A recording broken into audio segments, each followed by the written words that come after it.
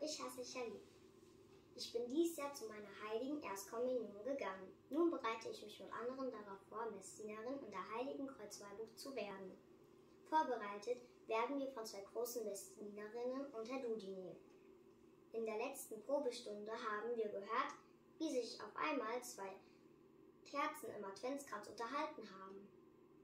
Das war so etwas Besonderes, dass Angie, Johanna und Lionel euch davon berichten wollen. Vier Kerzen brannten am Adventskranz. Es war still, so still, dass man hörte, wie die Kerzen zu gehen begannen. Die erste Kerze seufzte und sagte, ich heiße Frieden. Mein Licht leuchtet, aber die Menschen halten keinen Frieden. Sie wollen mich nicht. Ihr, Li ihr Licht wurde immer kleiner und verlosch schließlich ganz. Die zweite Kerze flackerte und flackerte und sagte, ich heiße Glauben, auch ich bin überflüssig. Die Menschen wollen von Gott nichts wissen. Es hat keinen Sinn mehr, dass ich brenne. Ein Luftzug wehte durch den Raum und die Kerze war aus.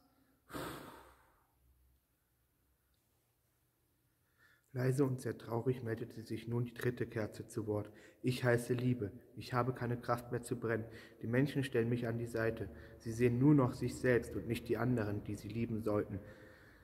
Und mit einem, einem letzten Aufflackern war auch dieses Licht erloschen. Da meldet sich auch die vierte Kerze zu Wort. Sie sagt, sie sagte, hab keine Angst, solange ich brenne, können wir auch die anderen Kerzen wieder anzünden. Ich heiße Hoffnung.